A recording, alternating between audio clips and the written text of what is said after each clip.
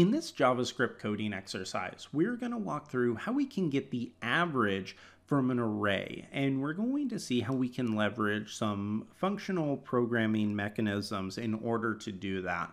So if you have an array, something like this, what I want to be able to do is to take any number of values, add them up, and then divide them. So if you're a little bit rusty on your sixth grade mathematics, then the way that you get an average is by totaling up each one of the values. So we're going to grab the sum of the array and then we need to divide that sum by the total number of elements. So in this case, it would be three.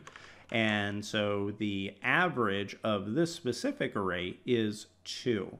And we're going to see how we can perform this process and do it in as efficient a way as possible. So if you are following along and you want to actually learn this and really work through it, what I highly recommend is that you pause the video right now and you go and you try to build this out yourself and then afterwards come back and then watch the solution that I personally built out.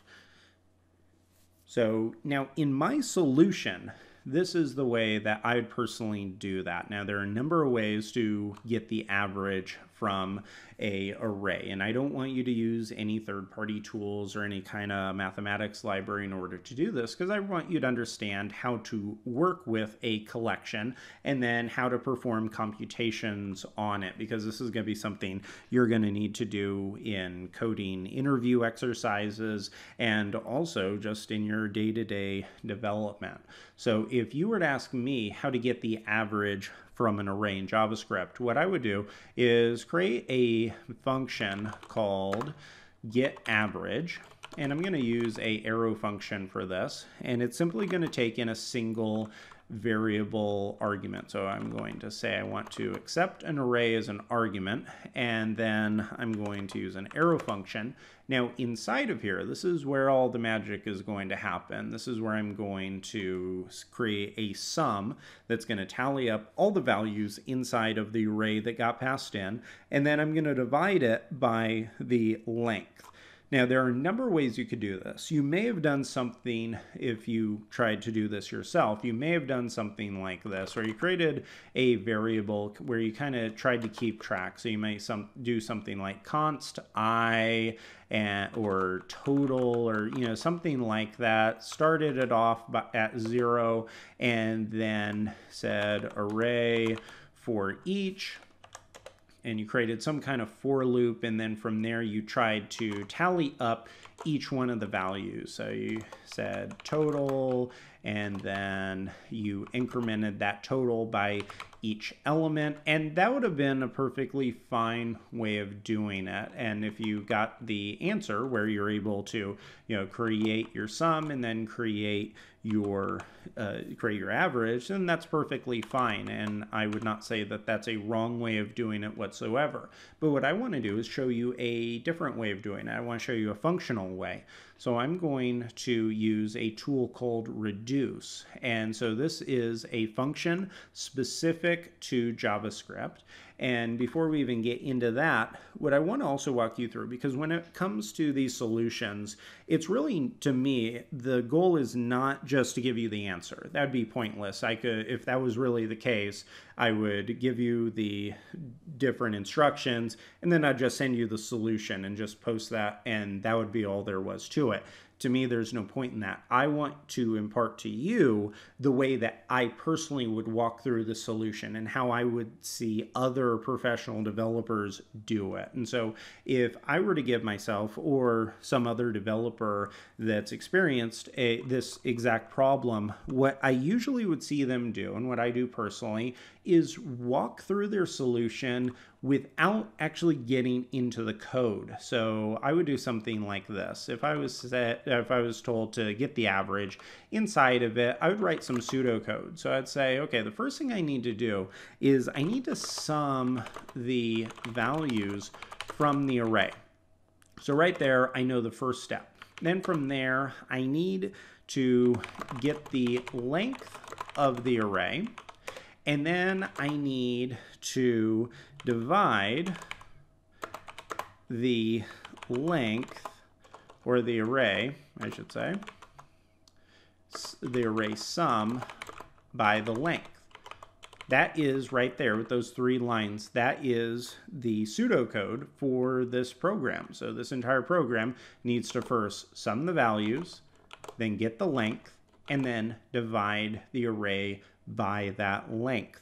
Now, something that I have seen, and this is a very big distinction between experienced developers and new developers, not to say that there's anything the matter with getting into this, because I remember when I first started developing, I struggled through a number of different problems. And what I saw was when I was younger and I started to try to build out solutions like this, I would just stare at the screen for a little while. And that really did not accomplish anything.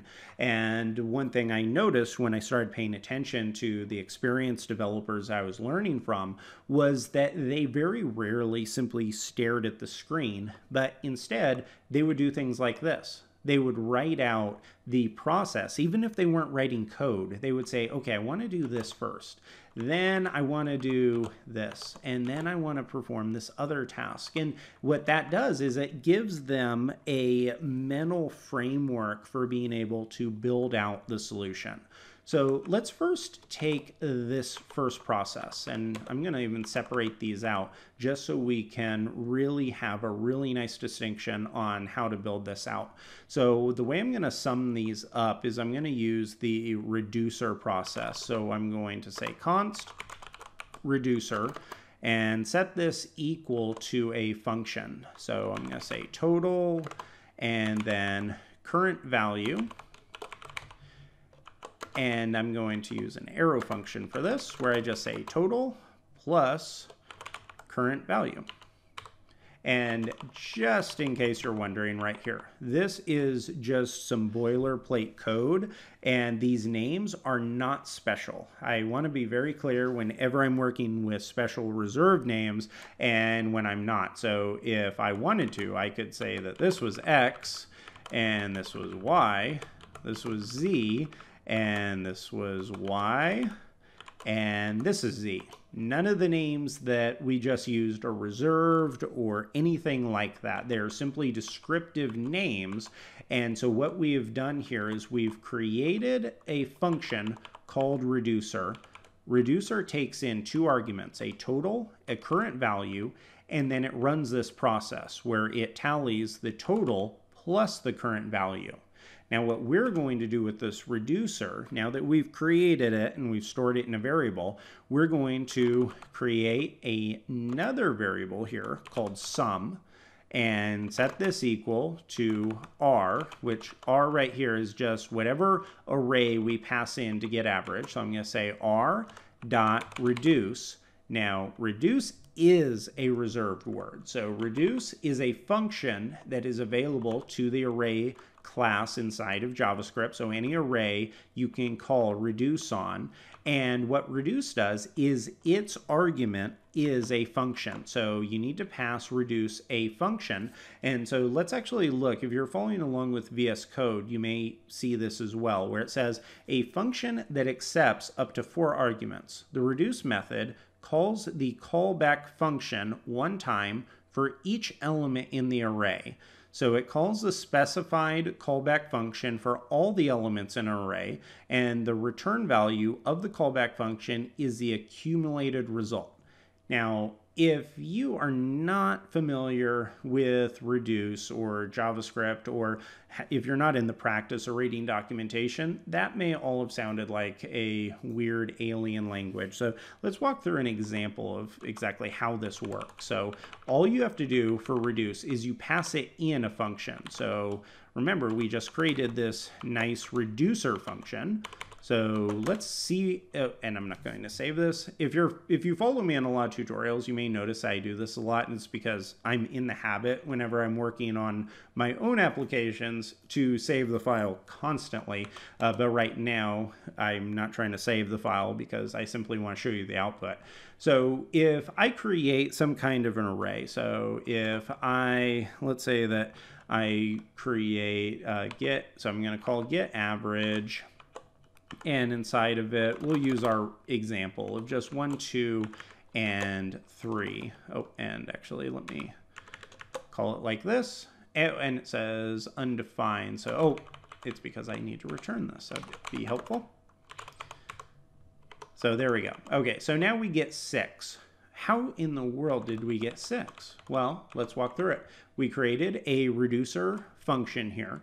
That reducer took in a total and a current value. Now, the thing that's kind of weird about this, if you've never seen this before, is you may have noticed we're not passing in a total or a current value. That's what the reduce function does. So when you pass in a function to reduce, it expects this kind of setup where you're passing in the first argument is what is called the accumulator. So what it does is it accumulates the value. The second argument here is going to be whatever the current value is of the array that you're working with. Now, if you're still confused, let's actually get rid of this. So I'm going to say, you know, I'm not going to pass in this weird reducer thing that I just created. I'm going to grab all of these values and let's just paste this in directly. So I'm going to paste in a total and a current value. So I'm passing in these arguments and then I'm performing the exact same task. So I can even get rid of this here and you can see down here that we're still getting the same value. So what reduce does is it's taking in that total it's using that as the accumulator, which means that it accumulates with each time that we go through. It's going to take the current value and then it's going to add it to the total. Now, if you still don't believe me, let me add on to this list. So I'm going to say three, four, and five. Now notice here that we're adding it up. So now we're at 15. So it is taking each one of those values so if you add each one of these up, this does equal 15. Now, reduce is not limited to doing sums. If that was the case, that wouldn't be very helpful because then we could just call a sum method and it would take everything in. But it has to be more flexible than that. Imagine that we switch out this plus sign with a multiplication symbol. Now you can see on line 10, it's switched. The value is now 120. So this accumulator here, this total, is taking the current value and then it is now multiplying it. If I switch it back to the plus, you can see that it's back at 15. Let's walk through exactly what's happening here when we start, we're starting with a total, and let me make this a comment just so it doesn't give us an error. So the total when we start off is zero. And then from there, we're going to take that current value. And in this case, when we're passing this in, the current value is one, just like we see it right there. So that's the first time. Now we add 1 plus 0. Well, we know 1 plus 0 equals 1. So that's now the current value total. So the next time we go through, so what reduce does is it iterates through the entire collection. So now it keeps track of that total. So now the total is going to be 1. And that current value, because we're now iterating through, now we're at 2. So the current value is now 2, which means that the return value is going to be 2 plus 1. So it's going to be 3. And then the next time, it's going to be total, which means our new total is going to be 3 because that's what the return value was. It's accumulating. And then the current value is now going to be 3. And as you may have guessed, it's going to tally up 3 plus 3 be 6, and then it's going to continue on from there. So it iterates each time. So it's going to be just like you created some kind of for loop or something like that. It's going to keep track of that value. It's going to loop through and it's going to keep on adding on. And it's going to be adding on in our case, but it also could be multiplying, it could be dividing, it could be doing anything you want. You can have this function be very flexible with whatever process it is, and it'll just keep track of that value. Now I'm going to create our reducer function again because I think it's a little bit easier to keep track of it. So I'm going to say reducer equals, and then just we're, I'm just going to take these values again. and then paste it up here. And now I can just pass in reducer. This is one of the reasons I love JavaScript because we can pass in our, we can store entire functions in variables and then pass them in just like we're doing right here. So there's no difference between the code we used to have and what I have here. This is just a little bit easier to read and keep track of and also make changes to. So now that we have that, we know this is working. So right now, it's almost kind of like we have a sum function. This is going through and it's returning the sum. So if you notice, we have everything we needed for step one. Now we need to get the length of the array. Well, how do we get the length? Well, we could, let me get rid of the sum. And if we wanted to, we could just say return r dot length and this is going to return 5 because there are 5 elements in the array. So that is what we're wanting. We now know how to get the length of the array. Now we don't want to return this, so I'm going to move this down and so move it into the next step. So I want to divide the array sum by the length. So I can do that by just saying sum, which is our variable, divide it by the array length, and as you can see right here, we have our entire working program. So we now have the ability to come here and get the values that we want. We have one an array of 1, 2, and 3. That returns the average of 2, which is the correct average. Now, if we were to add any other value, so just a bunch of random numbers here, you can see that the average keeps on updating and that is perfect. So if you take the values, if you take a list of 1, 2, 3, 23, 4, 5, 21, 34, and 5, it returns the average of 272 0.125. So our function of get average is working perfectly and we're leveraging a number of different programming components here. We've built an arrow function, then we're calling it. We have created a reducer and we're using the reduce function. So we're passing our reducer into reduce. So we're accumulating the value. That's how we're creating the sum. And then from there, we're just taking our sum and we're dividing it by the length. So I hope that if you went through this, that the solution makes sense and it helps to give you a little bit of clarification on what functions like reduce and some of the functional components of JavaScript do to help you understand how you can apply it to your own programs.